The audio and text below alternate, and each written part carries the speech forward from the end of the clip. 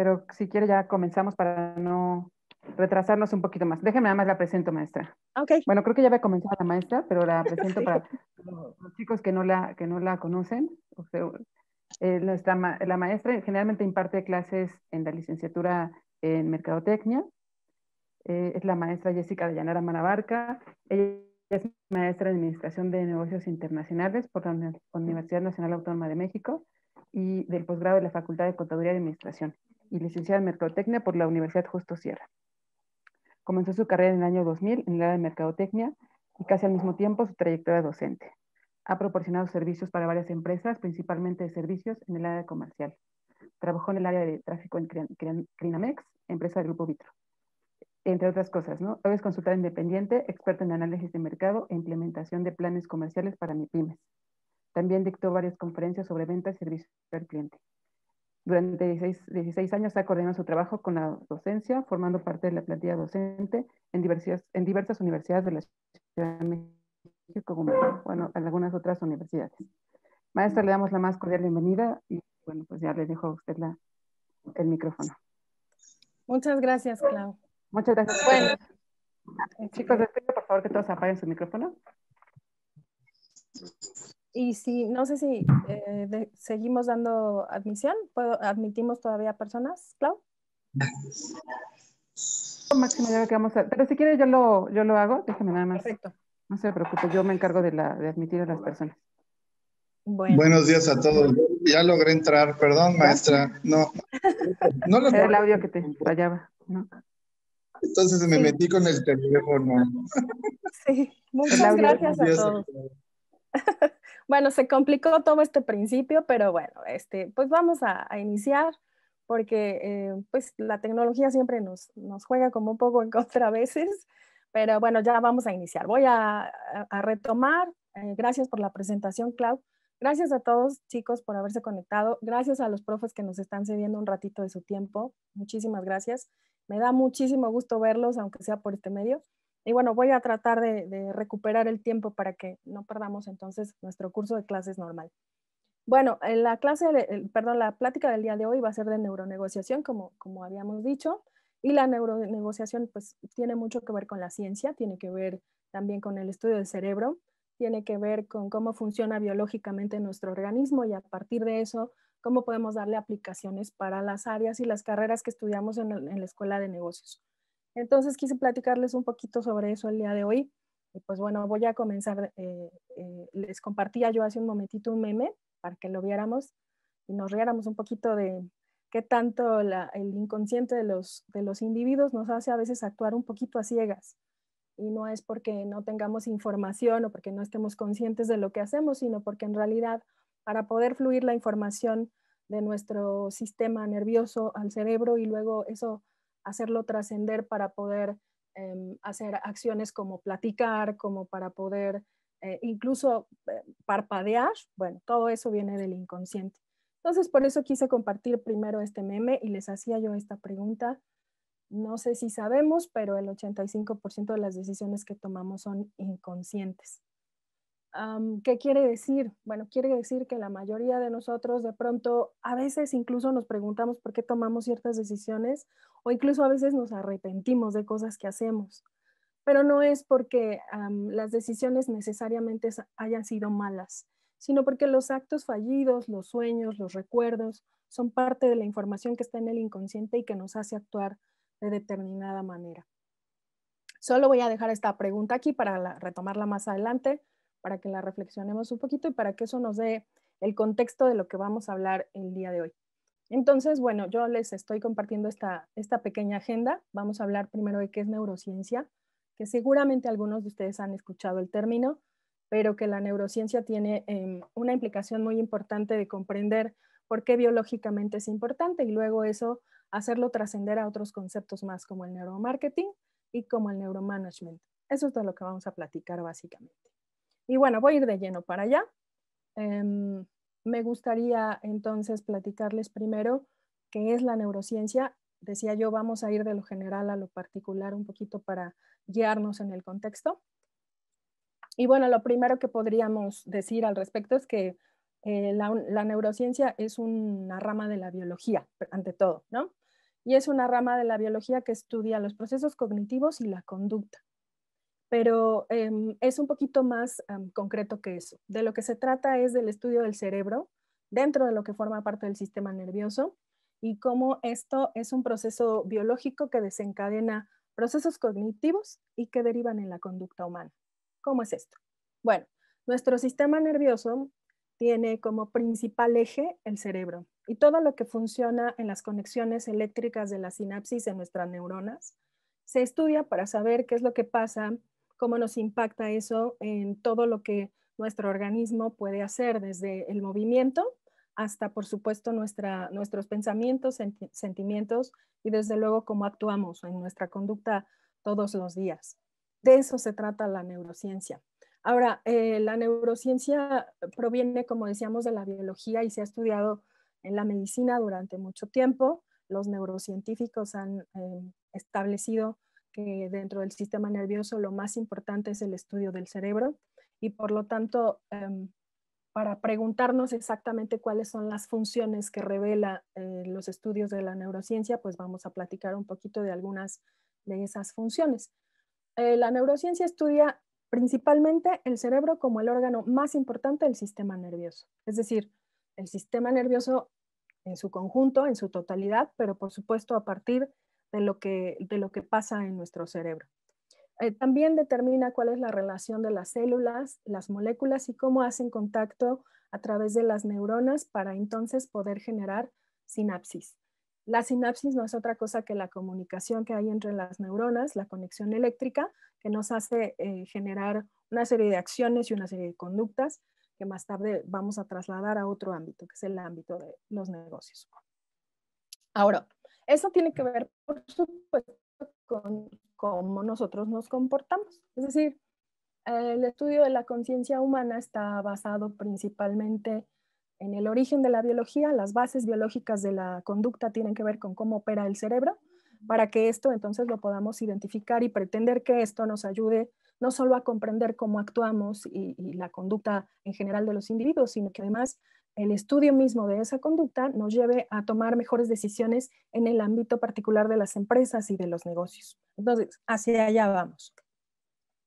Ahora, eh, los neurocientíficos han estudiado mucho al cerebro y se han dado cuenta que pues obviamente tiene que ver con muchísimas áreas de conocimiento, no solamente con la biología y con la medicina, sino que en realidad tiene que ver prácticamente con todo, porque el cerebro toca pues todas las áreas de lo que significa existir. Básicamente, toda la fisiología, todo lo que tiene que ver con em, el entendimiento social, el raciocinio, la lingüística, etc. Algunas de las ramas de la, de la neurociencia es un poco lo que eh, les explico acá. Por ejemplo, la neurociencia clínica tiene que ver con todos los trastornos del sistema nervioso. Aquí involucra, por ejemplo, la psicología y la psiquiatría. Así que, por ejemplo, entender lo que pasa con ah, quizá con la esquizofrenia, por ejemplo, eso es un trastorno del sistema eh, nervioso, es decir, de cómo funciona el cerebro. Y estudiar el Alzheimer, por ejemplo, también identifica cómo la materia gris se modifica cuando nosotros empezamos a perder la memoria. Y entonces eso es una, una de las ramas de la neurociencia estudiada desde la clínica. En el caso de la neurociencia celular, se, se encarga de la parte fisiológica, es decir, que nosotros tengamos movimiento, que podamos caminar, que podamos movernos, parpadear, reírnos, todo, tiene que ver con las células, cómo se conectan las células, cómo esa información viaja a través del sistema nervioso y conecta porque las neuronas hicieron sinapsis previamente en nuestro cerebro y eso nos da movimiento, por ejemplo, ¿no? Eso tiene que ver con otra cosa, con la fisiología, que ahorita hablo de eso. Y la lingüística, que implica que tanto em, los mecanismos eh, neuronales del cerebro nos ayudan a comprender y a comunicarnos en general, es decir, a identificar los símbolos del lenguaje y luego entonces traducirlos en, eh, verbalización, es decir, en cómo comprendemos y, cómo traducimos esa información simbólica en palabras, en oraciones y cómo nos expresamos y comprendemos los idiomas. Está también la neurociencia social, que tiene que ver con el sistema biológico y con el comportamiento social, en general, cómo nos comportamos cuando estamos en grupos o cómo nos comportamos cuando estamos en masas. De eso se trata la, neurociencia social y tiene mucho que ver con cómo nos impactan eh, los comportamientos y nos contagian, entre comillas, algunos comportamientos cuando estamos en grupos sociales que quizá de manera individual nuestra forma de, procesar la información no es igual, ¿no? Entonces, bueno, de eso se encarga. También está la neurociencia fisiológica, que tiene mucho que ver con la celular, es decir, cómo se conecta el cerebro con eh, el cuerpo. Por ejemplo, cuando nos golpeamos y sentimos dolor o cuando sentimos un calambre, lo que está sucediendo es que las células recibieron un impacto y fisiológicamente yo sentí dolor porque ese impacto llegó a través de cómo la energía eh, que, pulsa a través del cerebro eh, eléctricamente con las neuronas me hacen sentir dolor. Entonces eso es de lo que trata la neurociencia fisiológica. Y la cultural, que implica que el cerebro además puede, tiene la capacidad de adaptarse en función de qué tanto como los valores nos pueden influir y cómo, por ejemplo, las tradiciones, o incluso hasta la gastronomía tienen que ver en cómo nosotros nos percibimos, percibimos el mundo y nos relacionamos con él. Formar parte de una cultura, entonces, es un proceso que se va adquiriendo a lo largo de la vida, que lo vamos aprendiendo y que eso nos ayuda a convivir en diferentes eh, sistemas de cultura. ¿De acuerdo? Entonces, bueno, de eso se trata como principalmente la neurociencia y estas son algunas áreas de la aplicación de la misma. Pero lo que nos ocupa el día de hoy es cómo eso funciona dentro de los negocios. Eh, obviamente, algunas ramas de las que acabo de mencionar, pues obviamente impactan de manera directa, por ejemplo, la lingüística, ¿no? O por ejemplo, la social. Pero bueno, ¿de qué se trata la neurociencia en los negocios? La neurociencia en los negocios implica el conocimiento de las ciencias biológicas que se utilizan para el estudio del cerebro, para lograr mejores relaciones, mejores decisiones y facilitar los objetivos empresariales. ¿Cómo es eso? Bueno, ya que sabemos que el sistema nervioso tiene como protagonista el cerebro, de lo que se trata es de conocer mejor cómo actúa el cerebro, cómo es impactado eh, a través de los estímulos que recibe de manera cotidiana, eso qué efecto tiene en la conducta y cómo la conducta entonces permea hasta los negocios. Es decir, desde hacer o cerrar un trato, por ejemplo, hasta incluso el clima laboral. De eso se trata. Entonces, llevar el ámbito de la ciencia a los negocios. Entonces, para poder lograr eso, hay una serie de factores que vamos a, identificar. No es, por supuesto, para nada algo nuevo. Sin embargo, sí son tendencias que están sucediendo hoy por hoy y que se han ido especializando cada vez más. Entonces, por ejemplo, el neuromanagement, que tiene que ver con la administración completa de los negocios a partir de utilizar la neurociencia. El caso del neuroliderazgo, que vamos a hablar un poquito de él más a profundidad, pero que tiene que ver con las posiciones directivas y cómo el estudio de este comportamiento biológico nos ayuda a generar mejores em, planeaciones y por supuesto también organizar sistemas que nos permitan identificar y empatizar con los equipos de trabajo Em, el neuroaprendizaje, que además es parte también del neuroliderazgo porque nos ayuda a generar sistemas de aprendizaje dentro de los esquemas laborales. El neurobranding, que en realidad es parte del neuromarketing, pero que eh, tiene un nivel de, especialización más alto, porque el neurobranding tiene que ver más con cómo la captación de los estímulos comerciales nos llevan hacia la parte de la construcción de todo lo que tiene que ver con las marcas. Eh, vamos a hablar de neuromarketing también, de, eso vamos a profundizar un poquito de cómo la información comercial puede entonces impactarnos o no, qué relevancia tiene y cómo conectar mejor con los consumidores a través de ello. Y bueno, de la neuronegociación, entonces estaríamos hablando del conjunto total de todas estas herramientas que nos pueden llevar de la mano hacia la construcción de mejores ambientes de trabajo, ¿no? Y entonces, eh, nos vamos a concentrar hoy en neuromanagement, en neuroliderazgo y en neuromarketing, que es lo que voy a compartir con ustedes. Sí quiero decir que esto es la punta del iceberg. En realidad eh, hay muchísimo más eh, de lo que podríamos hablar. Voy a tratar de ser em, pues como una síntesis de, de, la información como que creo que nos podría servir o que es la más relevante. Y por lo tanto voy a comenzar con el neuromarketing. Eh, pues como la mayoría de ustedes saben, mi formación es en mercadotecnia y entonces esta es el área que conozco más profundamente, pero que además eh, nos ha permitido además identificar otros esquemas en donde se puede aplicar la, neurociencia, pero vamos a comenzar por aquí. Alguno de ustedes seguramente ya lo escuchó, no es una, no es una tendencia ni tampoco es una, una práctica eh, pues nueva. Sí es reciente, pero no es nueva, ya tiene tiempo que se sigue estudiando.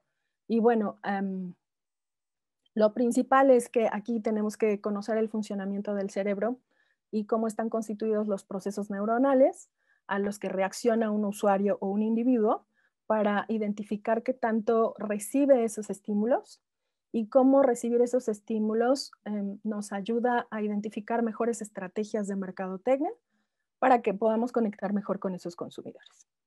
En palabras simples, si yo conozco mejor el inconsciente de los individuos a través del estudio del cerebro, entonces puedo saber cómo me puedo acercar mejor a una comunicación más productiva a través de los elementos comerciales que me pueden identificar con ese consumidor ofreciendo bien esos servicios. Establecer, por ejemplo, campañas publicitarias exitosas, etcétera, ¿no? Esa es la traducción que podríamos tener de esta definición.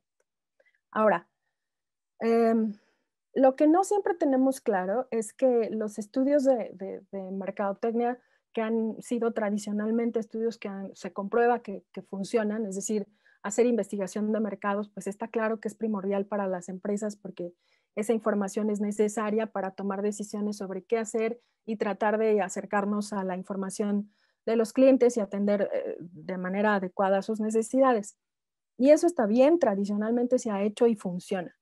Pero de lo que se trata el neuromarketing es de ir un poquito más profundo. Es decir, no solamente salir y preguntarle a la gente qué quiere, porque además, con base en el estudio del inconsciente humano, sucede que lo que decimos no es toda la información que en realidad está dentro de nuestro inconsciente. La mayoría de la gente cuando le preguntas qué quiere, te va a decir lo que está en el primer plano, es decir, en la conciencia. Y eso por supuesto está bien, pero no lo es todo. Significa entonces que a partir de esa información hay parte del inconsciente que necesita entonces ser estudiada también para consolidar la información que emana de los consumidores y de verdad entonces ser mucho más concretos en la empatía que queremos tener a nivel comercial con ellos.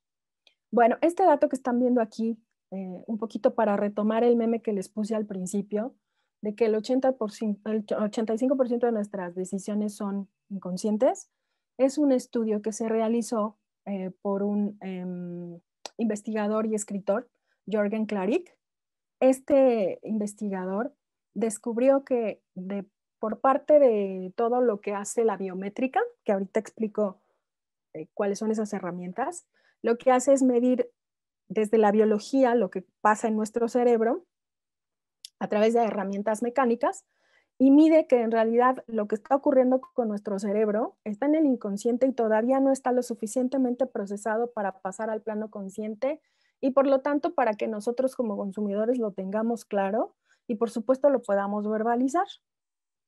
Uno de sus estudios, por ejemplo, determinó que eh, el consumo de algunos productos tiene mucho que ver con eh, emociones o con sentimientos que ni siquiera teníamos claras o que no habíamos descubierto, porque provienen justamente del interior del pensamiento humano, que es el inconsciente. Sin embargo, hay otro estudio eh, que generó la Universidad de Harvard que dice que en realidad no es el 85, sino el 95%. Pero no nos alarmemos, ¿no? O sea, no es que vayamos por la vida a ciegas, no significa que no sabemos lo que hacemos. Lo que significa es que esa información está ahí en nuestro cerebro y es como si no lo supiéramos. Esa información está ahí y tenemos que comprenderla o pasarla al plano consciente a través de algunas herramientas que la biométrica nos ayuda a entender. Y por esa razón, entonces, Jorgen Klarik ha hecho algunos estudios que yo quisiera ejemplificar para denotar cuál es el resultado de esos estudios y por qué decimos que el inconsciente es el 85%. El ejemplo del que vamos a hablar es el del tabaco. Esto es, las personas eh, que fuman, pues obviamente tienen este hábito les gusta fumar, compran sus cigarros, pero por parte de las instituciones de salud de nuestro país dicen, bueno, hay que tratar de inhibir, este comportamiento porque provoca un, problema de salud pública grave. Y entonces se han hecho muchas estrategias para generar esta inhibición que queremos que las personas disminuyan el consumo del tabaco. ¿Qué se ha hecho al respecto? Bueno, cosas que ya sabemos. Por ejemplo, se confinan los lugares cerrados para que los fumadores tengan un área específica donde puedan fumar o que de plano tengan que salir del establecimiento en donde están para que de alguna manera eso pues sea como mm, menos conflictivo entre los fumadores y los no fumadores. Antes que eso incluso se prohibió eh, la publicidad en medios masivos de comunicación, es decir, hacer eh, estudio, perdón, publicidad en televisión, por ejemplo, se prohibió desde hace ya un tiempo en donde nosotros no podemos hacer eh, comerciales que digan o que fomenten el consumo del cigarro. Y quizá la más reciente que seguramente tenemos todos este, como muy clara es esta, ¿no? Seguramente lo, lo han visto. Estos mensajes que vienen impresos en la cajetilla de los cigarros, en donde gráficamente nos dice que fumar hace daño, ¿no? Y fumar hace daño y los consumidores del tabaco lo saben. Es decir, yo fumo y me gusta fumar y además sé que me hace daño. Y la pregunta aquí, pues entonces, ¿por qué la gente sigue fumando? ¿No? Con todos estos estímulos que yo ya envié de fumar es malo, tratar de disminuir el consumo del tabaco, eh, prohibir la, publicidad, confinar los, los, los, establecimientos para que la gente no fume, le pongo etiquetas en los empaques y en los envases para que la gente entienda que no debe de fumar y la gente sigue fumando. Bueno, eh, los científicos y los psicólogos, después de haber hecho un estudio sobre el inconsciente, encontraron que hay un concepto en psicología llamado indulgencia. ¿Qué es la indulgencia? Bueno, la indulgencia es en donde el cerebro no solamente acepta que existen las conductas negativas, sino que además las aprueba y las practica que incluso hace sentir emoción, confianza, adrenalina, peligro, y eso le hace bien entonces a los individuos. Es decir, tenemos una especie de placer por algunas conductas que sabemos que no son exactamente buenas, ¿no? De ahí los famosísimos eh, placeres culposos, ¿no? O gustos culposos que le llamamos de manera cotidiana. ¿Qué quiere decir esto? Bueno, quiere decir que a través de los estudios de la neurociencia, aplicados al consumo a través del neuromarketing, se descubrió que en realidad existen muchas cosas que no sabemos completamente del cerebro y a pesar de que hay muchos estudios y ahí está pues muy avanzada la tecnología y por supuesto también la medicina, el cerebro sigue siendo un misterio para todos. Conocemos información muy importante y hemos avanzado mucho, pero en realidad no lo sabemos todo. Y el concepto de indulgencia que descubrieron los psicólogos en realidad proviene del estudio biométrico, es decir, de medir qué es lo que está ocurriendo a través de los impulsos eléctricos que conectan la sinapsis en el cerebro. Por esa razón es que nosotros actuamos así. La indulgencia nos permite actuar eh, de manera o, recibir de manera positiva cosas que no son tan positivas, como el, el caso de fumar, ¿no? Y por esa razón es que algunas empresas pueden tomar decisiones sobre lanzar productos, sobre diversificar sus marcas, sobre incluso, por ejemplo, hacer campañas exitosas respecto a la publicidad. ¿De acuerdo? Ahora, hay herramientas del neuromarketing que nos han ayudado como a descubrir esta información, es decir, no es información solamente intuitiva o que alguien haya eh, determinado que pues así sucedió, no es solamente Jorgen Clarick, por supuesto es uno de los estudios más importantes, pero desde luego no es el único. Están todos los estudios que se han hecho en Cambridge, los estudios que se han hecho en Harvard y por supuesto información que también emana de, de, algunas, eh, no solamente universidades, sino también eh, instituciones de carácter eh, de salud. La biométrica entonces es una, em, una forma de medir lo que está ocurriendo en el sistema nervioso. Algunas de esas herramientas se han aplicado en el neuromarketing. Pero quiero ser clara, en realidad no es que sean este, herramientas que fueron inventadas por el neuromarketing, son herramientas que ya existían, que tienen ahora una aplicación para conocer mejor lo que ocurre con las personas eh, desde el neuromarketing. Por ejemplo, el, el eye tracker, existe una, mm, una maquinita que se llama respuesta galvánica. Ahorita explico cómo funciona cada una. También un aparato que se llama face reading, el electroencefalograma y la resonancia magnética. Estos son algunos de los instrumentos de biométrica que se han utilizado para medir o para saber cómo funciona eh, el cerebro y cómo las conexiones neuronales nos llevan a tomar esta clase de decisiones. Lo que están viendo en pantalla es esta herramienta que se llama Eye Tracker. Y el Eye Tracker puede ser de dos formas. Puede ser móvil o fijo. Y lo que ustedes ven del lado izquierdo es cómo el individuo recorre visualmente, en el primer caso, los anaqueles de un supermercado, en el segundo caso, publicidad.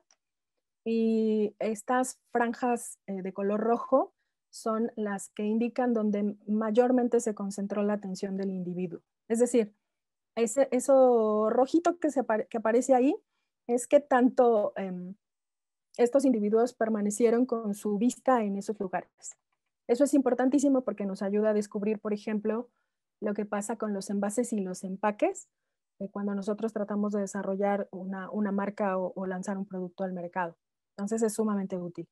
Y en el caso del, del tracker fijo, eh, la publicidad se, se, utiliza mucho para conocer cuál es el impacto de la publicidad eh, a través de esta, de presentarle a los individuos una imagen que tenga que ver con la publicidad y entonces registrar cómo em, su vista va recorriendo el anuncio y en qué lugares pone mayor atención. Eso comprueba, por supuesto, la información que sabemos en publicidad, en este caso, por ejemplo, sobre el bebé. Si se fijan, es uno de los puntos rojos en donde más atención se pone y nosotros Em, sabemos que en la publicidad, por ejemplo, las figuras humanas son las imágenes más atractivas y especialmente los bebés, por ejemplo, está comprobado en la publicidad que son muy atractivas para los clientes. Entonces, esto de alguna manera la biométrica lo confirma. Ahora, también eh, tenemos lo que se considera como la respuesta galvánica.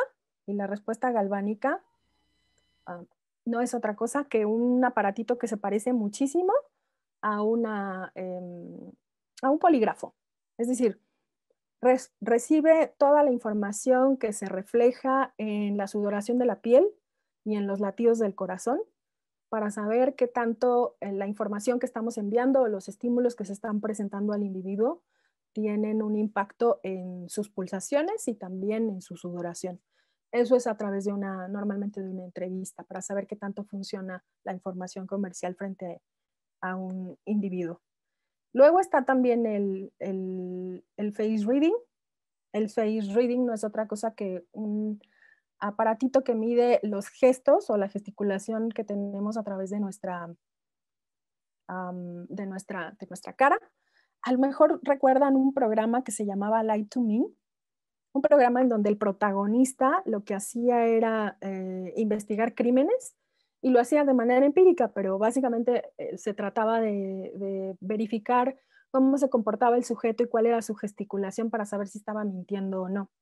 Un poquito de eso se trata el face reading en el caso de la aplicación comercial. O sea, lo que queremos saber es eh, qué tanto la aceptación, el rechazo, la alegría, etcétera, las reacciones en nuestro cuerpo se puede notar a través de, nuestra cara y lo podemos medir a través de, respuestas biométricas con un aparatito que se llama face reading, que no es otra cosa que la lectura de, nuestra, de nuestra cara, pero que puede hacerse a través de una conexión de, pequeños em, sensores eléctricos que nos ayudan a identificarlo. Ahora, un electroencefalógrafo es un aparato como el que están viendo del lado izquierdo, en donde lo que intentamos es verificar eh, cuál es el impacto y cuáles son las, digamos, como eh, lo que el cerebro está registrando mientras estamos enviando información, cualquier tipo de estímulos. En el caso del marketing, por supuesto, información comercial. Pero todo lo que tiene que ver con cómo se activa el cerebro, bueno, lo que ven del lado derecho es justamente eso la actividad cerebral, en dónde se registra, qué es lo que llama la atención, etc. Y el caso de la resonancia magnética. Seguramente estas cámaras las han visto, tienen una aplicación eh, pues, muy diversa. Perdón, está mostrando diapositivas, es que bueno, no me aparece, ya no aparecen diapositivas. ¿No? Ah, pensé que era yo, yo también.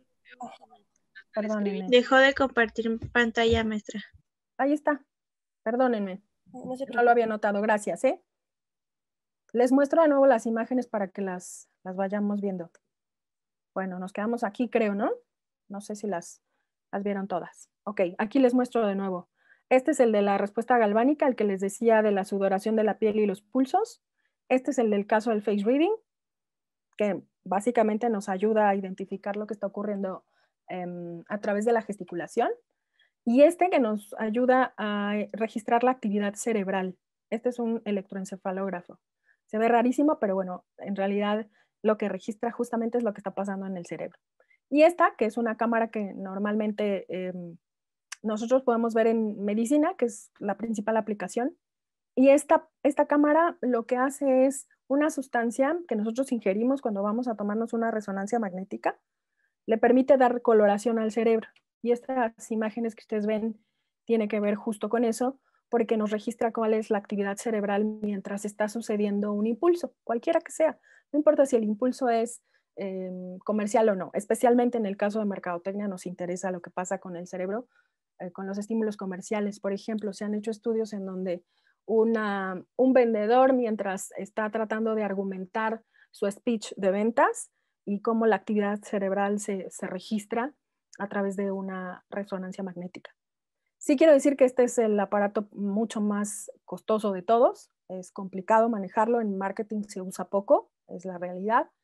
Eh, se utiliza principalmente en la medicina. Pero todos los que acabamos de ver tienen aplicaciones en muchas áreas del conocimiento. Se utilizan desde luego en la psicología, en la medicina, se utilizan mucho en la criminalística también. Y aunque algunas de esas herramientas fueron diseñadas por la NASA o algunas tienen eh, em, diseños de inteligencia militar, pues sus aplicaciones han sido eh, en muchas áreas del conocimiento y la intención es conocer mejor el comportamiento humano porque pues a pesar de la era en la que estamos viviendo, pues todavía estamos como un poquito atrasados en ese sentido. Y no es que sepamos poco del cerebro, pero todavía nos falta conocer un poquito más. Las aplicaciones de, las neurociencias, de las neurociencias en marketing pues tienen muchas ventajas, nos han hecho que los mercadólogos y los publicistas podamos utilizar de mejor manera la información de cómo reacciona el cerebro ante los estímulos, cómo comprender mejor y empatizar con esas respuestas y generar pues información de productos y servicios y campañas publicitarias que comuniquen mejor. Y bueno, aunque desde luego pues el tema del neuromarketing es, es un tema que para mí en general pues tiene como gran importancia, no es la única aplicación de la neurociencia, desde luego en los negocios. Vamos a hablar de, de otra aplicación la aplicación de, del neuromanagement. El neuromanagement es una, una situación que tiene más que ver con cómo funciona eh, la situación de los empleados o de los colaboradores de una empresa desde su comportamiento, cómo impacta y su rendimiento laboral. Eh, pues no es ninguna novedad, novedad, que el trabajo cotidiano, el día a día, las herramientas eh, de los ambientes se vuelven muy estresantes los sistemas corporativos se vuelven pues, cada vez más exigentes y el trabajo se vuelve muy excesivo. Entonces, la mayoría de las personas vivimos en un ambiente pues, sumamente estresado. Entonces, de lo que se trata es de que em, en, en esta disciplina podamos entender mejor lo que está sucediendo y tratar de minimizar esos efectos negativos. Por lo tanto, lo que se pretende a través de esta tendencia es proponer que se estudie mejor el cerebro de quiénes son los que colaboran en una empresa, identificar cuáles son sus factores de bienestar, cómo pueden mejorar su rendimiento laboral y al mismo tiempo alcanzar los objetivos empresariales, pero también que entren en equilibrio con eh, el, ámbito personal y que entonces los individuos tengan una vida saludable y feliz. ¿Cómo que saludable y feliz? Bueno, pues en realidad es que eh, suena muy idílico, ¿no? Mm, seguramente ustedes saben que nosotros tendemos a generar somatización al, al, cuerpo cuando estamos demasiado estresados o cuando nuestro mismo cerebro no logra procesar de manera consciente lo que está ocurriendo y entonces le transferimos a nuestro cuerpo información que se convierte en enfermedades. Entonces, por ejemplo, la gastritis o la migraña, está comprobado que son enfermedades que provienen del mal manejo de las relaciones emocionales y de cómo nuestro centro de información, que es el cerebro, lo transfiere al, cuerpo y se manifiesta a través de enfermedades. O enfermedades de tipo emocional, como la depresión, por ejemplo, ¿no? Em, algunos de los estudios han determinado que en los ambientes laborales existen dos factores que nos afectan muy gravemente. El estrés, por supuesto, y el miedo al fracaso. Entonces, lo que se pretende es que esta tendencia nos ayude a reducir esos efectos y a generar mayor equilibrio. ¿Cómo? Bueno, una de las técnicas que se han utilizado eh, durante los últimos años, que no es nueva desde luego, es una técnica que se llama el mindfulness. Esa técnica se traduce en nuestro idioma como eh, atención plena o conciencia plena, pero en realidad tiene un significado un poquito más profundo, es toda una filosofía. Eh, esta técnica del mindfulness fue, em, se generó, digamos, como en, tiempo, en, tiempo de, en el tiempo de Buda, viene, la traducción literal significa remembrar, que no es un verbo que nosotros ocupemos normalmente, remembrar, más bien utilizamos eh, recordar. Sin embargo, eh, la, palabra, la palabra sariti proviene de una lengua, pali, que es muy parecida al sánscrito que se ocupaba en aquella época eh, de Buda y de allá viene la filosofía. Principalmente de lo que se trata es de generar el presente, es decir, seguramente ustedes han escuchado una filosofía que sigue vigente, tratar de vivir el día a día, de vivir en el presente y de no vivir en el pasado y no tratar de anticiparnos al futuro. Sin embargo, esto como una filosofía completa, de lo que se trata es de tomar la información del pasado, aprender de ella y entonces empezar cada día como un presente nuevo. Esa es la idea, esa es la filosofía. Y entonces esta frase dice prestar atención de manera intencional al momento presente sin juzgar, utilizando el aprendizaje del pasado, pero dejándolo justo como un aprendizaje y empezar cada día como un presente nuevo. Esa es la idea. Llevado a las em, empresas significa que eh, apliquemos estrategias que vinculen las expectativas de los empleados con los estímulos laborales. Eso significa desde que los espacios en su infraestructura sean cómodos, que esté iluminado, que el escritorio esté en buen estado, hasta, por ejemplo, estímulos de carácter económico, que generen ese equilibrio del que hablamos en la definición, que implica que las personas se sientan saludables y que reduzcan el nivel de, estrés, la, la, tensión y el conflicto dentro de las áreas laborales y que eso facilite entonces el equilibrio del que hablábamos hace un momento. Ahora, eso es a nivel individual. De lo que se trata es de que los individuos puedan sentirse equilibrados y puedan sentirse saludables pero además tienen todo un entorno y en ese entorno hay otras personas. Entonces el mindfulness no puede funcionar solo. También está la inteligencia social, que es parte también de este planteamiento. La inteligencia social em, se proclama como una forma de irrigar sentido de convivencia y unidad en el trabajo para hacer que funcione como una célula integral, compartir las competencias y alcanzar objetivos empresariales. En palabras simples, de lo que se trata es que los individuos se complementen entre sí, una vez entendiendo que el mindfulness puede ser una estrategia para reducir el estrés y para reducir estos impactos eh, negativos que puede tener eh, el ritmo de vida en el que vivimos hoy en día. Y entonces que la inteligencia social sea traer complementariamente la información de todos los individuos para que sus habilidades o sus competencias sean compartidas en el área de trabajo. Y entonces en vez de generar relaciones ríspidas en donde yo no quiero que me quites mi trabajo y entonces no comparto información y me llevo mal con los compañeros, en realidad generar una unidad integral en donde el eje central sea la convivencia y compartir las competencias que tiene cada individuo. Eso entonces generaría que el mindfulness y la inteligencia social funcionaran para, para poder integrar lo que se conoce como el neuromanagement. ¿De acuerdo? Ahora, eso en gran medida depende, por supuesto, de qué tipo de líder tenemos. Para poderlo derivar en, la, en el neuroliderazgo, pues es necesario tener un líder que sea partícipe de, esta, de estas tendencias. Ah, por lo tanto, entonces, aquí es donde entra la parte del neuroliderazgo. Según Henry eh, dice que el neuroliderazgo se, se centra en los individuos, tomando decisiones en lugares o en ambientes específicos, resuelven problemas y hacen que las emociones y el cambio estén en un solo centro. ¿De qué se trata? Bueno, que el líder tenga inteligencia emocional, básicamente.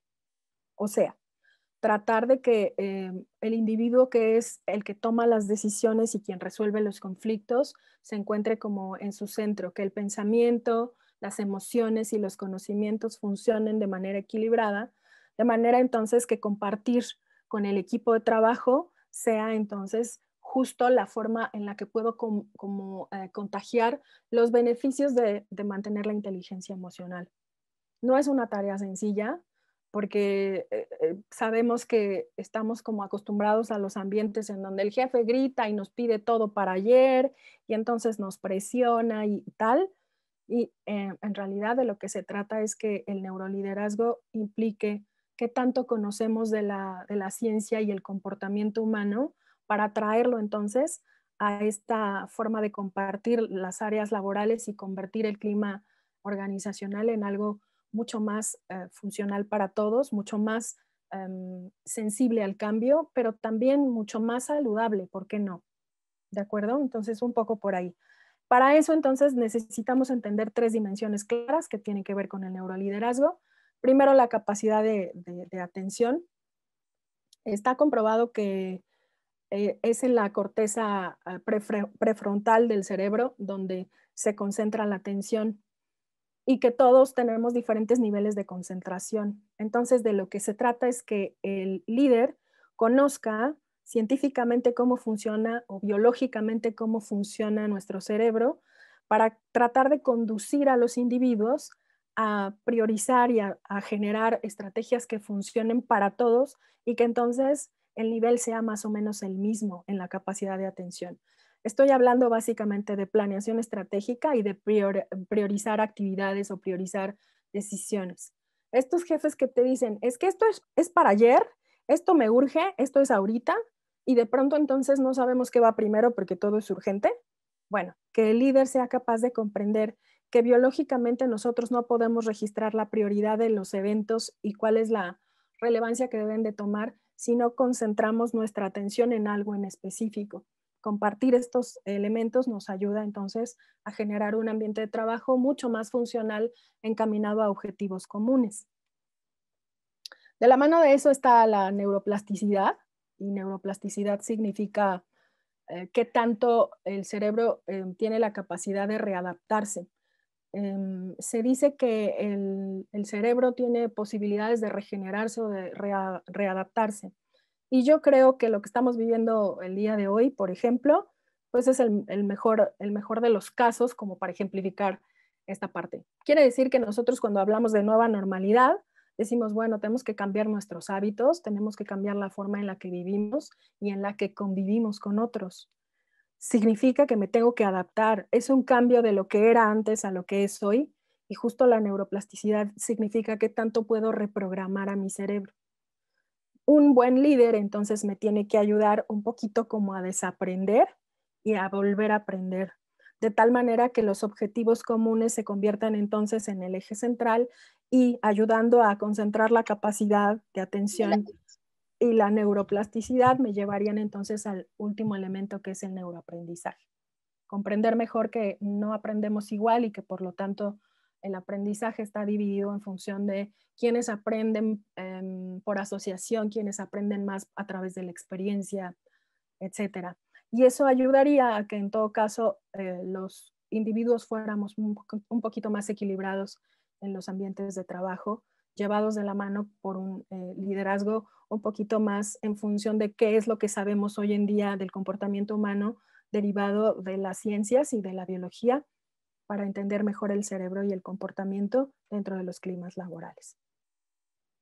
Como ven, eh, la información sobra. En realidad esto es solamente una parte pequeñita de lo que significa las ciencias aplicadas a todo el ámbito de los negocios, a la administración, al marketing.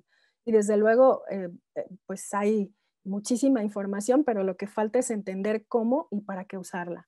Em, es un campo amplísimo, no es todo lo que podemos decir sobre neuronegociación. está relacionada con muchísimas áreas del conocimiento y por lo tanto entonces conecta con casi todas las, las, ciencias y con casi todas las áreas que nos pueden ayudar a concentrar la información para poder mejorar nuestros ambientes de trabajo, la forma en cómo ofrecemos nuestros bienes y servicios y qué tan empáticos somos eh, en el nivel eh, de los mercados. Por esa razón, entonces, eh, pues yo voy a concluir esta, esta participación con esta, con esta conclusión. Podemos decir que la neuronegociación no es un concepto aislado, no es un concepto independiente, más bien es un conjunto de aplicaciones de la ciencia a los negocios que utiliza disciplinas como la psicología, como la antropología, la lingüística, la semiótica y otras tantas, que eh, al relacionarse con la biología nos permiten conocer mejor el funcionamiento del cerebro para descubrir mejores formas de entender el comportamiento humano y poder actuar en consecuencia. Bueno, eso es básicamente lo que quería compartirles el día, de hoy. Hay mucho más que decir, pero bueno, un poquito como eh, la información general. De mi parte, pues sería todo y les agradezco mucho que se hayan conectado y que hayamos estado reunidos aquí por este medio. Muchas gracias. Muchas felicidades, maestra. Por demás, interesante lo que nos ha compartido. Después de que fue un arranque un poco accidentado, sí. lo logramos. Gracias, gracias a ustedes, gracias a todos. Chicos, eh, es el momento de las preguntas y respuestas. No, por, por, el relajo que tuvimos al inicio, yo no puedo ver quién, quién levanta la mano. Claudia, ¿nos ayudas, por favor? Sí, claro. Chicos, por favor. Como comenta el maestro Andrés, preguntas de Y aquí veo una manita levantada. Adelante. A ver si Sánchez. ¿Sánchez? Puedes, estar, puedes abrir tu micrófono. Buenos días. ¿Sí me escuchan? Sí. así es, sí te escuchamos. Antes que nada, agradecer la conferencia. Me parece un tema bastante interesante. Si bien el día de hoy se tratan de incorporar los pensamientos orientales a lo que sería la filosofía occidental que vivimos hoy en día, la cual nos dice que hay que pertenecer nosotros a la totalidad de, del mundo, más allá de lo que anteriormente decía el occidente de que nosotros podíamos poseer. Bien quiero mencionar un poco a, a Michel Foucault, que nos invita a reflexionar en la arqueología del saber y las palabras y las cosas sobre que la filosofía es atemporal, pero la filosofía moderna no se puede atender porque eso sería cuestión de las siguientes generaciones. Mi pregunta aquí son dos. ¿Existe actualmente hoy en día en México un instrumento que mida de manera más consciente las formas en las que se desenvuelve el mexicano promedio? Y la segunda sería, ¿existe algún texto, ensayo o bien un trabajo que hable sobre México? Sí, ah, muchas gracias por la, por la intervención. Sí, em, este em, investigador del que yo les hablaba, Jorgen Klarik, tiene todo un, un em, conjunto de estudios y de información que incluso él ha generado a partir de diferentes estudios que ha hecho en Latinoamérica y en México en particular, porque eh, me parece que su esposa es, es mexicana, él es californiano en, Estados Unidos. Este señor Jorgen Clark ha hecho varios estudios referente específicamente a Latinoamérica.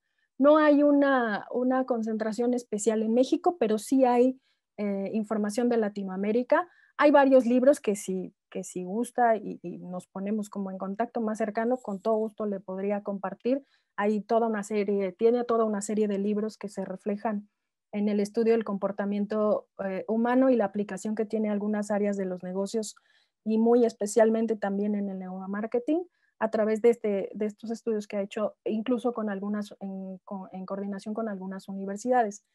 Eh, hasta donde yo sé no hay nada específico de México, pero sí eh, de Latinoamérica, un poco para, para responder a su pregunta. ¿Y cuál era la otra, perdón?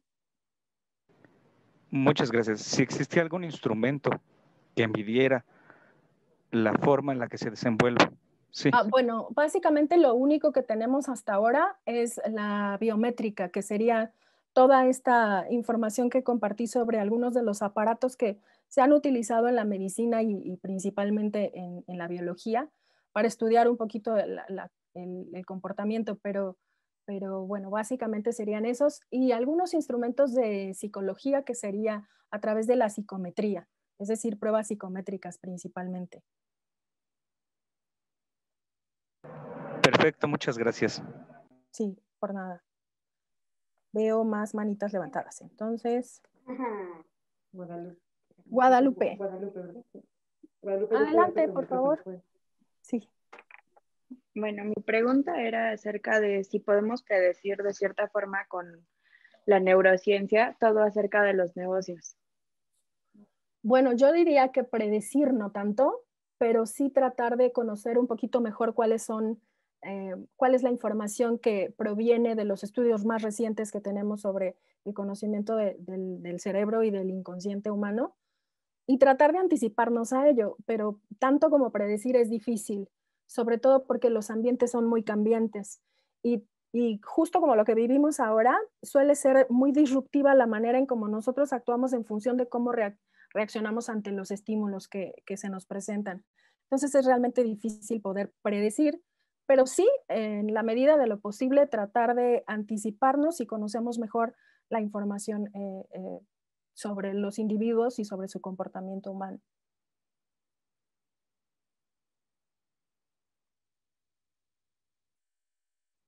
Muy bien. ¿Alguien más? ¿Sí?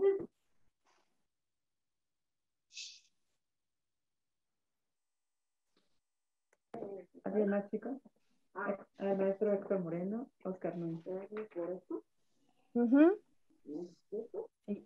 Adelante, Héctor. Qué gusto saludarte. Hola, Mar, ¿qué tal? Qué, qué gusto. Eh, muy interesante tu, tu, plática. Ajá, y este, oye, te quería comentar, las empresas mexicanas, ¿cómo toman a esto de las herramientas que nos has comentado el día de hoy? si las han llevado a cabo, piensan que es un gasto, ah, piensan que es un beneficio. ¿Cómo lo perciben las empresas mexicanas en relación con las extranjeras? Gracias. Excelente tu pregunta, gracias. Este, mira, la verdad es que la biométrica es costosa y la verdad es que la mayoría de las empresas en México no siempre poseen los presupuestos para poder hacerla. Y quizá por eso es que no estamos tan avanzados en, este, en esta área, ¿no?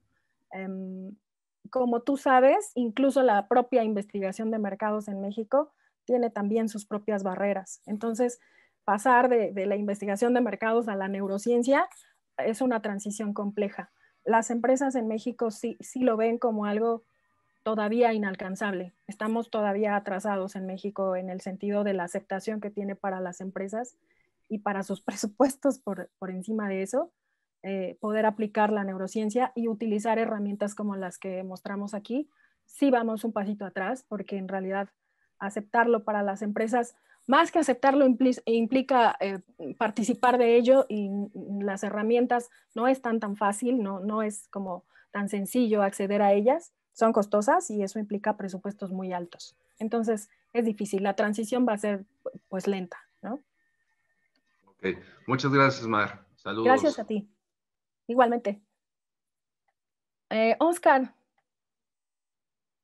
Adelante. Hola maestra, buenos días. Bueno, le agradezco por la videoconferencia, muy interesante la verdad. Me llama mucho la atención esta rama. Y bueno, mi pregunta es, ve que usted puso varios instrumentos por los cuales los mercados nos damos cuenta de lo que piensan, cómo se sienten las gentes. Entonces mi pregunta era si el Ice Trapper móvil, que era el que te ayudaba con lo que es la visualización, si entre más tiempo vea el cliente el producto, eso, quiere, eso nos ayuda a identificar que es más probable que compren ese producto. Sí, esa es la intención, Oscar. Eh, normalmente lo que se intenta descubrir es eh, cómo reacciona el cerebro en términos de la atención y cómo fija la vista, el recorrido visual eh, durante un, por ejemplo, un recorrido en una tienda de supermercado y entonces, en función de eso, decidir cosas, por ejemplo, como los empaques, como la psicología del color, como la tipografía de las marcas, etcétera. Entonces, sí, la idea es caminar hacia allá, entender un poquito mejor cómo reaccionan positivamente para volver los productos más atractivos y en función de eso eh, mejorar la oferta de bienes y servicios. Ok, y entonces usted considera que, por ejemplo, ahorita con la nueva ley que se va a hacer, ya no se pueden usar lo que son animales en los nuevos productos y empaques, ¿cree que este estudio beneficie para saber lo que pues, la gente va a seguir, por qué la gente va a seguir consumiendo este producto o ya no lo van a consumir como tal? Sí, aunque creo que estamos un pasito atrás. Eso ya deberíamos, deberíamos de haberlo, deberíamos de haberlo hecho, porque entonces eh, ¿Qué, implica? En la medida en que podemos aplicar la neurociencia a los negocios, podemos identificar mejor eh, los factores que inciden en el comportamiento humano. Pero cuando eso sucede, entonces nosotros apenas lo sabemos y apenas implementamos estrategias para eso. Y justo como tú dices, algunas eh, reglamentaciones o, la ley en general que aplica para algunos negocios o para eh, bienes y servicios, por ejemplo, el etiquetado que vemos, las etiquetas nuevas, esto Em, eliminar, por ejemplo, los gimmicks que van colocados en algunos productos para que no se genere consumismo, etcétera. Todas estas normas, eh, por supuesto que nos alteran el ritmo que llevábamos sobre lo que conocemos y cómo incide en favorecer la, demanda de los consumidores. Entonces, vamos un poquito atrás, eso sí, es cierto, todavía estamos transitando lento en eso. Sin embargo, em, creo que sí nos ayuda, o sea, son herramientas que son útiles que en México a través de algunas agencias de investigación de mercado se pueden hacer, otras tantas que no son nacionales y que vienen a México y nos ayudan con estos estudios, pero que creo que sí nos hace falta conocer un poquito más. Pero nos ayudaría, desde luego que sí. Gracias, maestra, de verdad. Gracias a ti. Mm, hay otra personita, Ana Fernanda, creo. Buenas tardes, gracias. Este, yo tengo una pregunta, una duda. ¿Estas herramientas cómo las podríamos ocupar para el impulso de una marca o de un producto para que esta, o sea, con estas herramientas una marca o una empresa en general podría llegar a o son cosas muy aparte? No, sí, desde luego son el indicio de lo que podríamos, como decíamos, bueno, el, el ejemplo que puse del Light Tracker, por ejemplo, nos ayuda a diseñar envases y empaques, por ejemplo. En el caso de, del face reading, nos ayuda a identificar, por ejemplo, la respuesta que tenemos ante eh, actividades promocionales o actividades de relaciones públicas o actividades de comunicación en general como la publicidad. Así que, por ejemplo, la gesticulación nos ayuda a identificar rechazo cuando algo no nos gusta. ¿no? Si, tú vas al supermercado y te dan una prueba de un yogurt y no te gusta, reaccionas, tu, tu cara se nota, o sea, haces gestos, ¿no? Bueno, un poquito el face, el, face reading es, algo como eso. Nos ayuda, por ejemplo, a cómo comunicar. Em, nos ayuda también a identificar qué tan atractivos son los estímulos que enviamos y cómo podemos generar empatía para que la comunicación se mejore y entonces hacer mejores campañas, mejores productos, etcétera. Por supuesto que estas herramientas son súper importantes y nos ayudarían mucho. Pero un poco para redondear lo que decía el maestro Héctor hace un momento, Todavía estamos muy atrás de eso porque no es una tecnología fácil de acceder. Las empresas, sobre todo las pymes, requieren grandes presupuestos que no tienen para poder hacerlo. Entonces, decía yo, la transición va a ser muy lenta, pero en algún momento, y yo esperaría que a su generación, pues les toque ya que esto sea como muy cotidiano, ¿no? Y que pudieran incluso manejarlos como parte de las herramientas de marketing para tomar decisiones.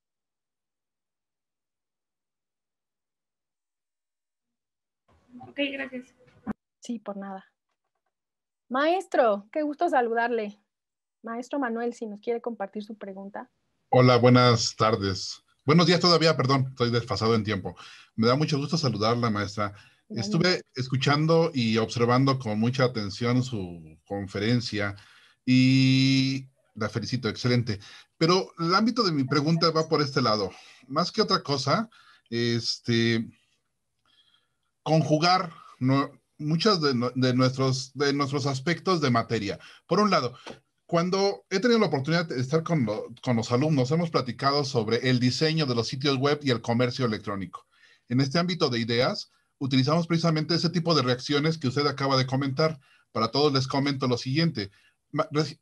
Netflix acaba de estrenar hace poco tiempo una película que se llama El dilema de las redes sociales y utiliza dentro de sus respuestas a este tipo de reacciones neurolingüísticas eh, de, las personas para precisamente vendernos, vendernos, vendernos. De tal manera que quien ve esa película después, esa película documental, después se aterroriza de cómo nos están manejando.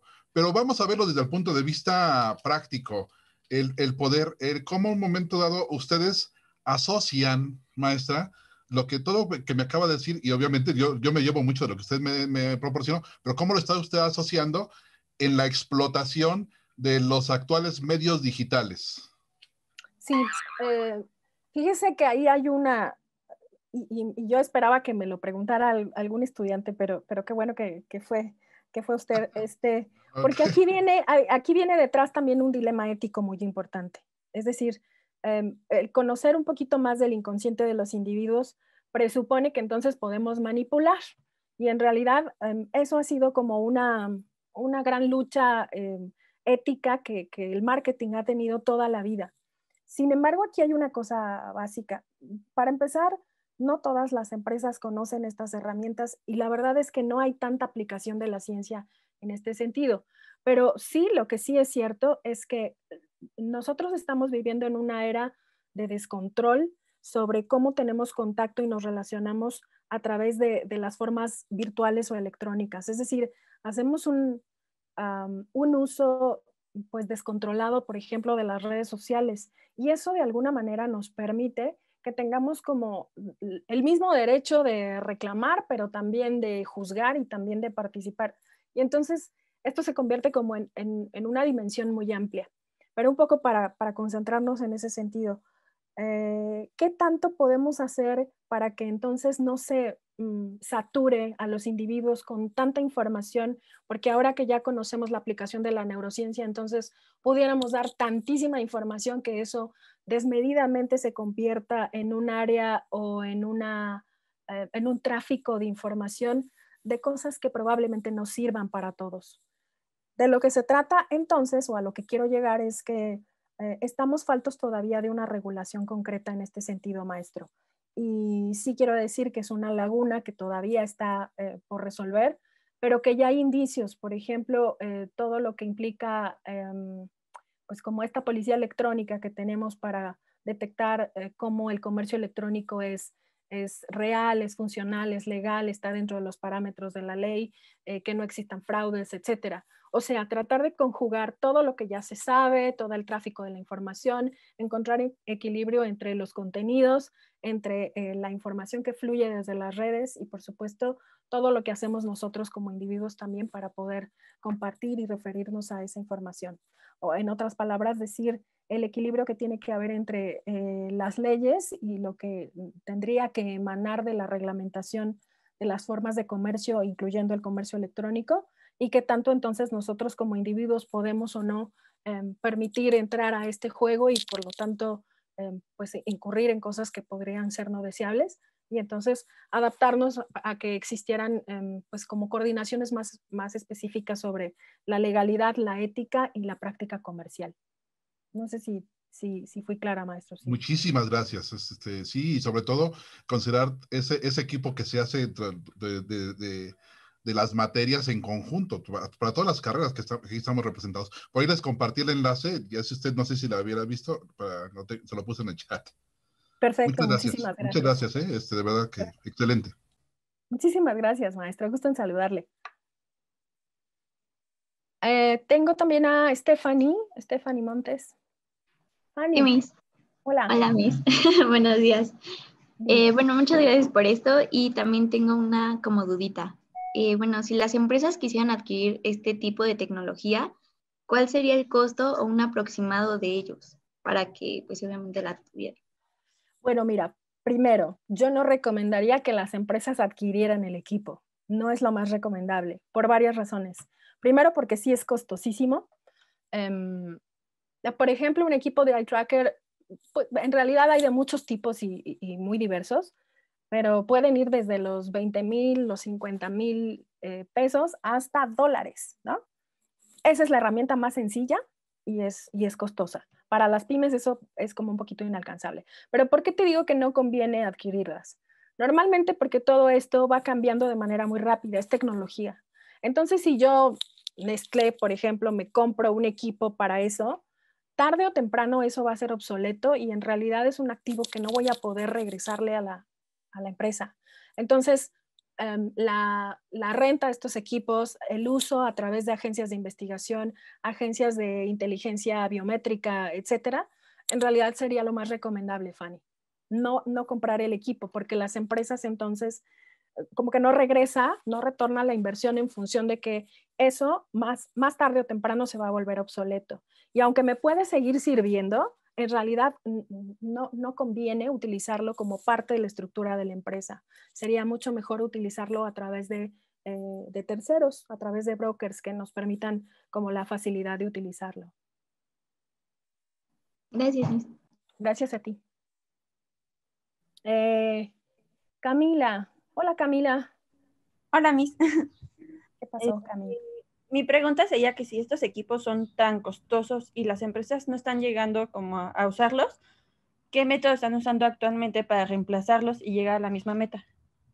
En realidad, todo lo que es investigación de mercados, Cami. O sea, em, lo que quiero decir es que el conocimiento del consumidor no es nuevo y en realidad las herramientas para poder conocerlo son múltiples y todo lo que se, hace, como decía yo, en investigación de mercados está bien, solo que la aplicación de la ciencia eh, hoy por hoy es una tendencia y, vamos a tener que subirnos a este barco de la tecnología en función de eso. Pero todo lo que se está haciendo también nos sirve y es bastante útil hasta ahora. Entonces, todas las herramientas de investigación de mercados que utilizamos eh, actualmente son herramientas que nos sirven para conocer, conocer el comportamiento del consumidor y actuar en consecuencia, tomar decisiones empresariales en función de lo que sabemos. Vale, Miss, muchas gracias. Por nada. Tengo una manita más. Eh, Raúl, Raúl Ramírez. Sí, buenos días, maestra. Hola. Eh, nada más quería preguntarle sobre los tres cerebros que tenemos, según Jürgen Klarik. O sea, ¿cuál de los tres cerebros nos ayuda como a la toma de decisiones? Uno como mercadólogo, ¿cómo nos podemos dar cuenta? Eh, ¿Cuál cerebro le ayuda al consumidor a la toma de, o la, para la, decisión de compra de algún producto? Más que tres cerebros, lo que tenemos es la funcionalidad de cómo la perspectiva de, de la información biológica que emana del cerebro nos ayuda a la toma de decisiones. Pero básicamente a los consumidores nos ayuda la intuición no tanto el razonamiento, ¿sabes? Porque la mayoría de nosotros no vamos por la vida pensando, a ver, esto me va a provocar angustia y entonces, ¿sabes? Reaccionamos sí al miedo, por ejemplo, reaccionamos a emociones en general, reaccionamos a, múltiples eh, eh, formas y, eventos que nos pueden entonces impactar en la toma de decisiones. Pero el cerebro es solamente uno y la concentración de la información de acuerdo con las características de lo que en general em, la biométrica mide, solamente podemos identificar que eh, el, plano cerebral en su conjunto tiene diferentes formas de ser atendido. Por ejemplo, la, parte prefrontal del, cerebro es la que llama la atención, es decir, es la que primero se activa, porque es la que nos causa el impacto visual de los objetos, por ejemplo. Pero eh, la parte em, posterior del cerebro, la parte em, que implica un poco más el raciocinio, nos ayuda, por ejemplo, a comparar precios o a elegir lo que más nos gusta. O sea, lo que quiero decirte es que más que tres cerebros, las tres, las tres perspectivas que maneja Jorgen se apega un poquito más a, a la intuición. ¿Qué tanto el individuo se conoce a sí mismo, declara saber sobre sí mismo y en función de eso toma decisiones respecto a lo que quiere y a lo que busca? No sé si ah, okay. pregunta. Sí, sí, maestra. Gracias. Gracias a ti. Bueno, creo que ya no hay más manitas levantadas. ¿Ya no? Creo que ya. No, ¿Sí? Diana. A ver, adelante. Claro. buenos días. Este, yo, bueno, eh, más a, lo que puede ser este en un futuro y usted más conocedora de este tema, ¿cree que sería conveniente que en un futuro el gobierno mexicano este, busque mm, implementar este, este, conocimiento, esta ciencia eh, en las empresas de aquí de la Ciudad de México? ¿Cree que sería algo conveniente para el crecimiento del país? Qué gran pregunta, qué gran pregunta, Diana. Este, mm, sería lo ideal. Ah, yo creo que sería muy buena idea. Ahora, no sé qué tanto, si estamos viviendo como recortes presupuestales, no sé qué tanto eso implicaría este, como una propuesta del gobierno. Sería fantástico y me parece que eso sería a lo mejor quizá una de las iniciativas que podrían mejorar las condiciones económicas, o sea, favorecer el conocimiento que deben tener las empresas sobre sus mercados, un poco más puntual aplicando todas estas estrategias y la tecnología, pues quizá eso nos ayudaría a, pues como a resurgir del bache económico en el que estamos metidos todos, ¿no? Entonces, creo que sería una excelente propuesta y me parece genial tu idea pero yo la verdad es que desconozco que tanto el gobierno podría involucrarse. Me parece que podría ser una gran alternativa que con apoyos del gobierno entonces las empresas pudieran acceder a esta clase de medios y poder entonces conocer mejor a sus mercados. Sería muy buena idea, pero la verdad es que no sé qué tanto quisieran involucrarse, ¿no? Pero yo creo que sería una, una fantástica idea. Ok, maestra, muchas gracias. Gracias a ti. Está aquí también José Jiménez levantando su manita.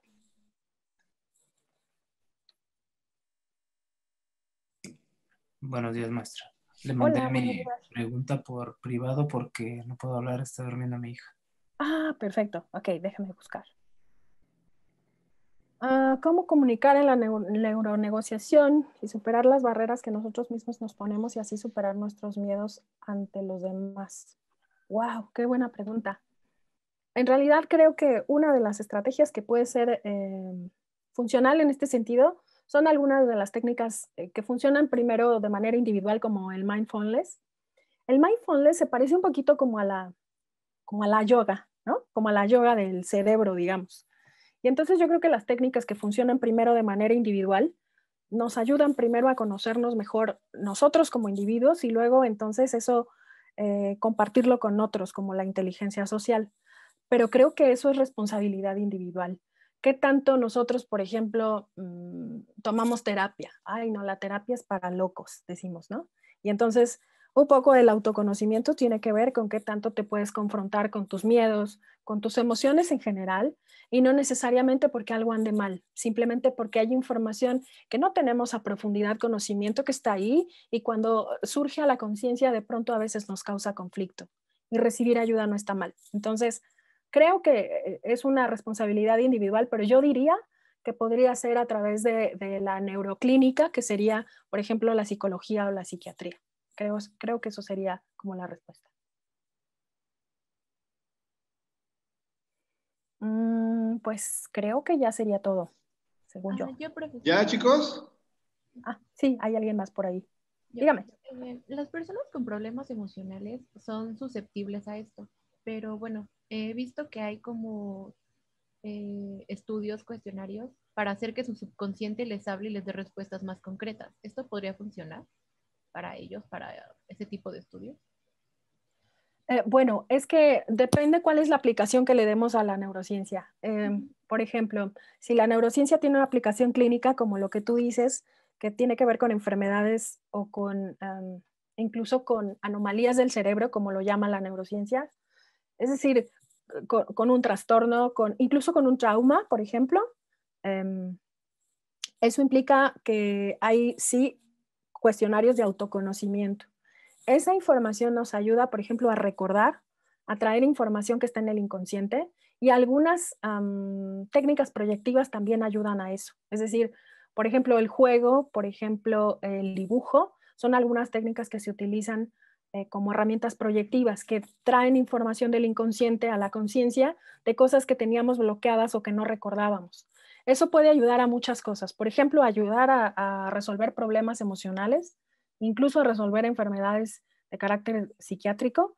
Y por supuesto también tiene mucho que ver con ayudar a conocer mejor a los individuos y aplicarlo después, por ejemplo, al clima laboral, a la mercadotecnia, etcétera.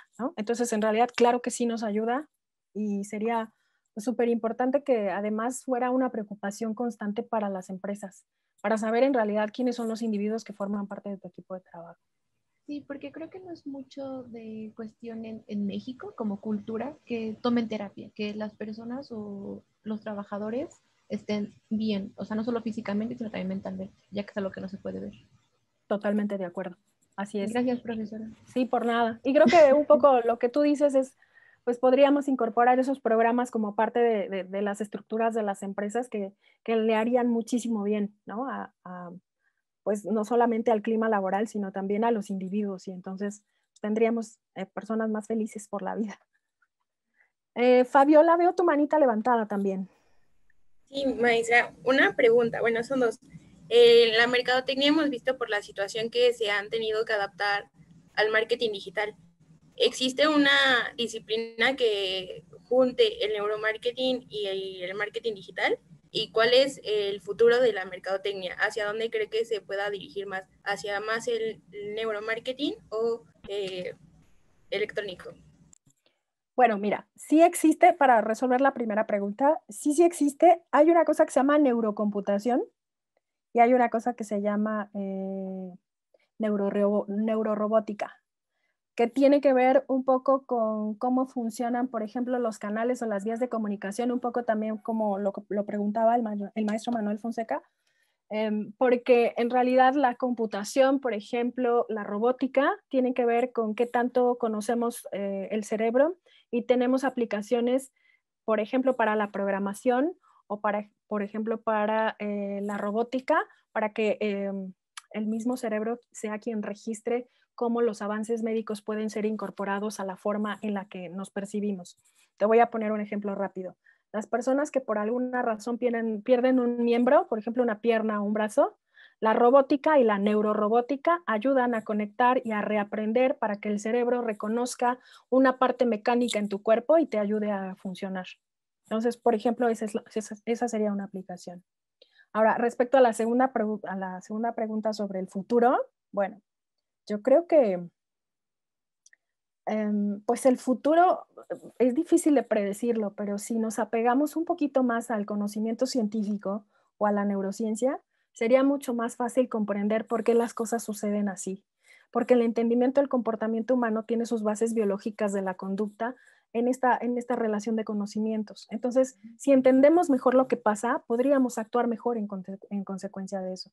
Para mí, creo que va a funcionar muy, muy lento hacia la neurociencia, pero sí vamos a caminar hacia, hacia allá, Fabi. Yo creo que esa sería la idea y creo que a ustedes les va a tocar una relación más directa con esto. Pero qué tanto, no lo sabemos ni en cuánto tiempo, ¿no? Ok, muchas gracias. Gracias a ti.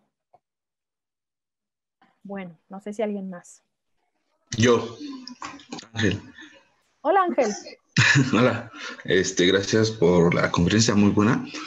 Este, bueno, mi pregunta era este, si hay países que ya están aplicando este, estos métodos y si están utilizando este, estos artefactos que nos mostró. Sí, principalmente Estados Unidos, como siempre, pero no son los únicos. Eh, la, la neurociencia se ha aplicado también en, culturas asiáticas. Ya, sabes, los asiáticos siempre muy avanzados y muy adelante como siempre en todo. En Japón hay grandes estudios sobre las resonancias magnéticas y sobre el neuroencefalógrafo y en Estados Unidos de todas las, las aplicaciones. Se usa mucho la resonancia magnética en Estados Unidos y sí, en realidad muchos países en Europa también ya lo están utilizando no siempre tienen aplicaciones al neuromarketing, tienen mucho más que ver con el comportamiento humano en general, pero los japoneses están más orientados hacia el clima laboral. Entonces, todos estos que les mostré ya están siendo aplicados en otros países, se usan como con mayor frecuencia que en México y tienen más aplicaciones hacia la parte administrativa, hacia la parte del, clima laboral. Un poquito va hacia allá caminando eso. Los japoneses van muy avanzados en este sentido. Y no dudo que sean ellos mismos quienes puedan mejorar la tecnología de esto que, acabamos de ver, ¿no? Ok, muchas gracias. Sí. Jexi, hola Jexi. Hola, profe. Eh, no sé si le voy a volver a hacer repetir, bueno, esta, esta respuesta, porque no sé si fue el profesor Fonseca que preguntó, porque la he tenido problemas con internet, me hace acá. Pero, bueno, tengo tres preguntas. una es si todo esto tiene un problema ético, esa sería una hasta como En cuanto a investigación, pues de, eh, pues, de cierta manera manipulación. Bueno, no lo, yo es que yo lo veo, lo veo de cierta manera así, o sea, viendo la parte negativa, ¿no? O sea, no, es que es todo positivo, ¿no? Pero, bueno, esa sería una pregunta y, bueno, pues, empecemos con esa y luego le digo las otras. Ok, claro, muy bien. Qué bueno para que sea en orden. Eh, gracias por tu pregunta, Jexi. Qué, qué, gran alegría que sea un estudiante quien lo pregunta. Este, sí, es muy probable que la gente piense que como ya sabemos cómo funciona el cerebro, vamos a manipular todo, ¿no? Y la verdad es que no es así. Y te voy a decir por qué. Mercadotecnia siempre ha tenido ese problema, ¿eh? el dilema ético de que nosotros somos los que provocamos el consumismo, por ejemplo. Y creo que acá hay una respuesta, pues que es muy sencilla, pero que es real para empezar tenemos el libre albedrío, ¿no? O sea, no, puedo hacer o no puedo mover a las personas y obligarlas a que actúen de, determinada manera. Eh, y seguramente tú dirás, bueno, pero si ya conozco cómo funciona el inconsciente, entonces aplico alguna de las eh, herramientas para conocer mejor y entonces genero un estímulo que provoque entonces una conducta. Sí puede ser, pero sí hay regulación ética al respecto tan sencillo como, por ejemplo, ahora lo que pasa con la biogenética y con la clonación y con todas estas que tienen que ver con el ambiente médico principalmente, pero también suceden en el ámbito comercial. Es decir, sí existe legalidad en el sentido de, hasta dónde están los límites. Y uno de los más importantes es que, eh, por ejemplo, la, libre la ley de competencia me permite que yo pueda tener competidores y por lo tanto entonces no puedo acaparar la información de mercado para que la use solamente para mí, por ejemplo. Por otro lado, la parte ética me dice que yo no puedo generar productos que sean em, nocivos sin notificarle al individuo lo que está consumiendo. Un poco el ejemplo que vimos de los cigarros. O sea, lo que tengo es toda la información disponible. Cómo la uso es responsabilidad de las empresas, pero sí hay una regulación ética sobre eso. Y yo creo que además está todo lo que tiene que ver con el libre albedrío. El individuo al final termina por identificar y por reconocer cuáles son sus propias necesidades y atenderlas en función de eso. Entonces, creo que va a ser difícil que lleguemos al nivel en donde, como las películas, entonces un plan maestro en donde alguien conozca todos los cerebros del mundo y pueda manipularlos, en realidad es muy difícil porque para empezar a acceder a eso, pues no es, tan no es tan sencillo. No todas las empresas están dispuestas a hacerlo y todavía mejor, pues los individuos somos capaces todavía de tomar decisiones en función de lo que hay disponible para la elección y por lo tanto creo yo que va a ser difícil que podamos llegar a un plano de manipulación. Creo yo que, que, va por ahí. No sé si respondí, Jexi. Sí, sí, profe, gracias. Bueno, la otra pregunta era si no sé, o sea, ¿hay alguna institución aquí en México que, se dedica a esto o no? ¿O no, no, ah, no existe ningún organismo propiamente mexicano, eh, pero existe, por ejemplo, en la UNAM una organización de biomédicos que se encargan de apoyar a los estudios y lo hacen además de manera gratuita porque lo hacen a través de becas del CONACYT. Entonces, eh, em, está en la UNAM una organización que se, que se encarga como de apoyar estudios de esta naturaleza pero propiamente un organismo mexicano consolidado que, exista para esto, no, no existe. Ok. Vale, bueno, la otra pregunta era si había alguna, bueno, creo que también eso como que le respondió, bueno, no sé, de si hay una universidad que, mm, pues, por ejemplo, en este caso, poner un ejemplo, ¿no? Eh, yo si quiero empezar como que a estudiar un poco eso también, no sé, ¿hay alguna una institución que, que brinde este, este... Como neuronegociación, no pero sí existen, por ejemplo, en la Universidad Panamericana existen especialidades que tienen que ver con comportamiento del individuo del consumidor. En la Universidad Anáhuac existe también, creo que un diplomado, no es maestría, no es solamente un diplomado, que existe sobre em, la relación entre la conciencia y la inconsciencia. Creo que se llama también em, psicología de las masas o psicología de, del colectiva, algo así se llama, y es solamente un diplomado. Pero propiamente como neuronegociación todavía no existe, eh, pues como parte de, la, de, los sistemas educativos, no. Ok. Bueno, se me acaba de este, ocurrir otra, otra pregunta, eh, no sé, eh, hay para... es que, o sea, no sé. Bueno, ¿quiénes se pueden empezar este, pues, a introducir a este mundo de, de estudio, ¿no? O sea, que, el, por ejemplo, un mercadólogo puede hacer este, este puede hacer, pues sí, estudiar esto, ¿no? Pero ¿quiénes otros profesionales más pueden hacer esto? De la mano tienen que ir obligatoriamente neurólogos, eh, neurocientíficos, eh, puede ser cualquier tipo de investigador científico que, que, que conozcan la metodología propiamente del método científico, médicos principalmente, y algunas otras disciplinas que normalmente impulsan como el conocimiento de esta información. Por ejemplo, los psicólogos. Puede haber psiquiatras y puede haber hasta criminalistas, Jexi. Nosotros estamos involucrados ahí como mercadólogos y publicistas para conocer la parte comercial, pero todos estos eh, pueden, pueden este, participar como de esta información desde la neurociencia. Bueno, la última, perdón, ya no molesto más.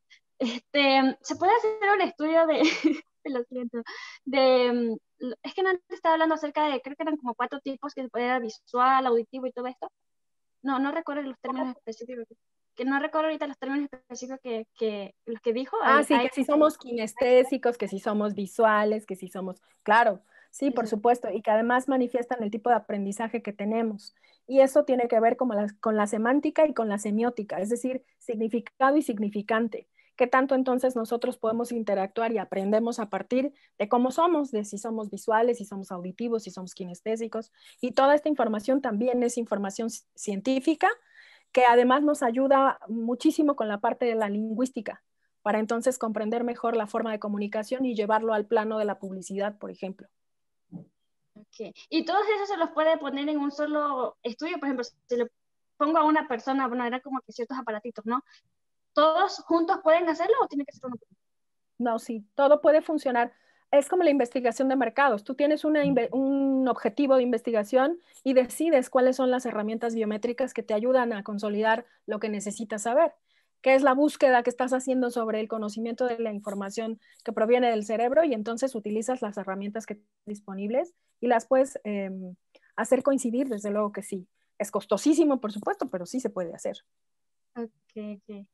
Vale, ok. Vale, pues. Ah, bueno, otra más. Eh, podría crearse, o sea, no, o sea, más que como una institución que se investiga, como que, ay, no sé cómo explicarlo. ¿Se puede crear una empresa que se dedique como tal a esta investigación, pero como para investigación de mercado? Sí, y ya existe. De hecho, este señor, este investigador, tiene su empresa eh, fundamentada en eso, en investigación que tiene que ver. Jorgen Klarik tiene su propia empresa, pero hay muchas otras. Incluso hay apoyos de, externos para biométrica que se maneja por las agencias de investigación actualmente, o sea, Nielsen, Ibope, etc. Ibope, por ejemplo, utiliza mucho para registrar qué tanto las audiencias eh, de televisión, de radio y de esto, utiliza muchos estudios biométricos y que esos estudios provienen eh, normalmente de la mano de alguna eh, empresa que puede proporcionar como em, la subrogación de estos aparatos y les ayudan, porque las agencias de investigación y las agencias de publicidad también están involucradas, desde luego. muchas gracias, profe. Gracias a ti, No, no te preocupes. Bueno, pues creo que ahora sí es todo, maestro. Bueno, a partir de este momento las preguntas van a causar honorarios. Sí. ¿No? Vamos a pasar la cuenta de la maestra Jessica. maestra, la quiero felicitar. La verdad es que el, récord de, preguntas la tenía la, conferencia que dio el maestro Ricardo Ramírez, pero lo acaba de dejar súper atrás. Así que deja muy, muy alto el, el nivel para las siguientes videoconferencias. Muchas gracias, muchas felicidades. Ha sido una, una conferencia súper, súper interesante. Lamento mucho el relajo del, del, inicio, se nos salió un poco de control, la tecnología no nos ayudó, pero qué bueno que, que todo salió muy bien. La quiero felicitar también a ustedes, chicos, por su excelente participación. Y bueno, pues sin más, vamos a cerrar, no sin antes avisarles dos cosas rápidas. Hoy es jueves, así que recuerden que tienen hasta el sábado a las 10 de la mañana para enviar el entregable de esta videoconferencia, que es la última de segundo parcial. Y eh, en 18 minutos empezamos, vamos a estrenar el club de debates. La, pregunta es, eh, sobre la que vamos a debatir, es si la presidencia de Joe Biden es buena o mala para nuestro país desde el punto de vista de los negocios. Recuerden que solo hay 20 lugares, a diferencia de una videoconferencia como esta, solo hay 20 lugares para los participantes.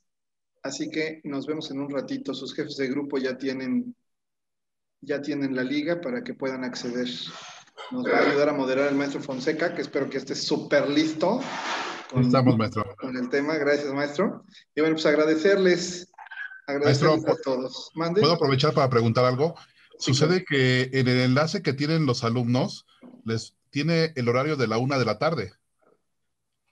Ah, no le haga caso. Es que así, así dice Claudia. Cuando Claudia dice una de la tarde, quiere decir 12 del día.